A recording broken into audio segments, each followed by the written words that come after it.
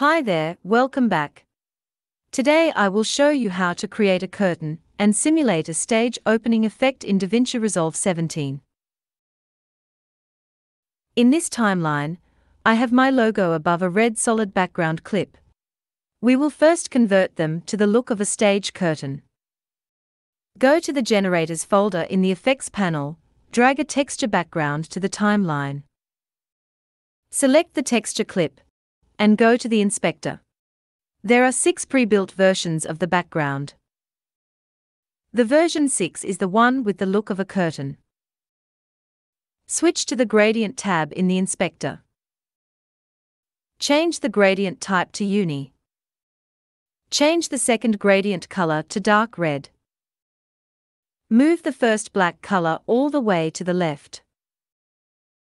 Pretty good curtain looking, but a bit too dark. Move the red color to the left, around 0.66. This is not bad, we can continue to play around with the parameters to have the best result we like. For example, in the Controls tab, we can change the contrast, brightness, or the scale etc.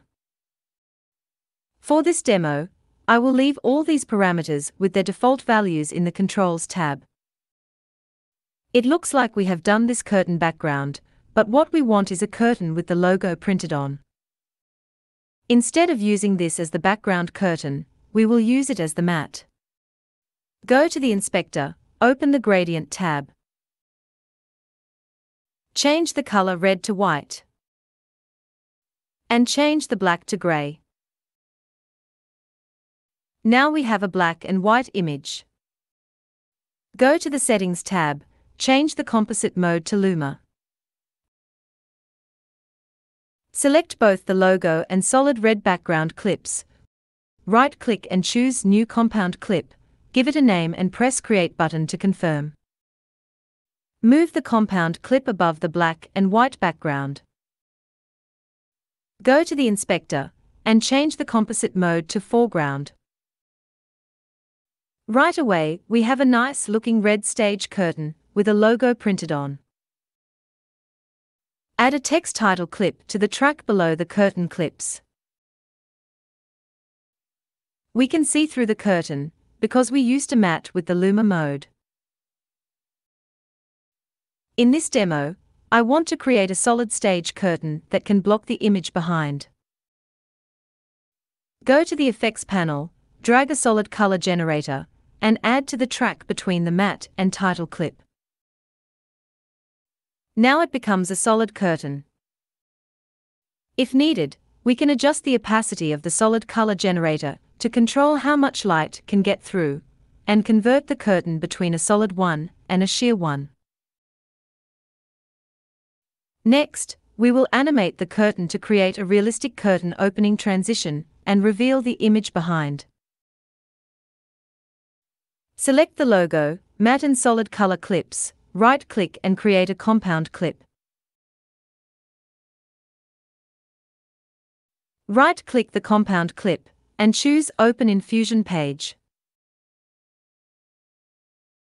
Since we will open the curtain from the middle, the first step is to separate the curtain into two parts, so that we can work on the animation one side at a time. Select the Media in node, Press Shift Space to bring up the Tool Selection window, search and add a crop node after the media in. Rename the node to left side. And press 1 to load into the left side viewer. With the left crop node selected, go to the inspector. Change the X size to 960, and we have an image of only the left half of the curtain. Copy the left side crop node and paste a new one into the node editor. Rename the new one to right side. Branch out another output line from media in and connect to the right side node. Drag the right side node into the right viewer. Make sure the new right side node is still selected, go to the inspector. Change X offset to 960 so that we get the right half of the curtain image. Drag a background node to the editor. And merge the right side output with the background node. Drag the left side output and merge to the Merge 1 node. Connect the Merge 2 output to the Input of Media Out node. Make sure both left side and right side are merged as the foreground input. Select the Media Out node and press 2 to load into the right side viewer. Select the background node and set the background to transparent. Select the Merge 1 node, change the center X to 0.75, which is on the right side of the screen. Select the Merge 2 node, change the center X to 0.25, which is the left side screen. Now the final media out result is made of two parts, the left side and the right side, we can start to work on the opening animations. Select the left side node, press Shift Space to open the tool selection window, search and add a grid warp node. In the inspector, change magnet type to selected. Set X grid size to 1 and Y grid size to 2. Change subdivisions to 5. Move the playhead to frame 5. In the inspector, right-click the mesh animation label at the bottom and select Animate to enable the keyframes. Move to frame 45, select the three points on the right side, and move left to simulate a curtain opening. The top ones travel faster than the bottom ones. While dragging the points, hold the Shift key to lock the moving in horizontal direction only. Press Shift S, or right-click the middle point in the pop-up menu, select Grid Warp 1, Smooth, Vertical. Go to frame 90. To mimic that the curtain bottom keeps moving after the top stopped, shift drag the bottom and middle points to the left until they are a bit past the top position. Press Shift S to smooth the curve. Move the playhead forward to frame 145, where the curtain bottom swings back a bit. Once again, smooth the edge of the middle point.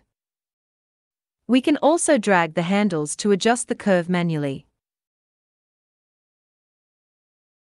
After frame 145, the curtain top starts moving again to left until it's out of the screen at frame 175 where the lower part of the curtain still remains a little bit visible. Move forward to frame 200, the curtain is now completely open, and slide out of the screen entirely. We have now set up the keyframes of a curtain opening, let's open the spline editor to further smooth the curve. Check the grid change to show the curve in the editor window. Click the Zoom to Fit button to show all keyframe points in the window. Press Ctrl A to select all points, and press S to smooth the curve of selected points. Now play the clip. The curtain movement is kind of bouncing instead of elastic when the curtain swings back. Select the keyframe 90, drag the handle to flat the curve, so that the curtain slowly reaches the leftmost position, and slowly return to the right side. Also flat the curve at frame 145. I think this is not bad now. If we want, we can keep adding and adjusting the keyframes to mimic the moments when a real curtain opens. Now we have done the opening for the left side curtain, we will repeat the same steps to animate the right side curtain to open to the right side. Select the right side node, add another grid warp node. Enable the keyframe at frame 5 when the curtain starts moving. Edit the grid and set keyframes at frame 45. Frame 90. Frame 145. Frame 175. Frame 200. Once the keyframes are added, go to the spline editor. Smooth the curve. Flat the curve at frame 90, and 145. Play the clip. We now have completed a curtain opening effect in a fusion composition. Go back to the edit page, play the timeline, we see that a solid stage curtain is opening to reveal the scene in the back.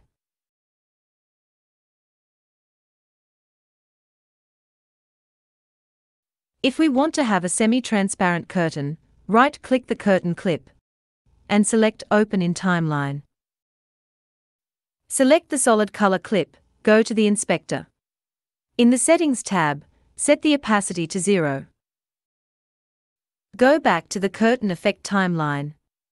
The curtain is now semi-transparent, and we can see through it.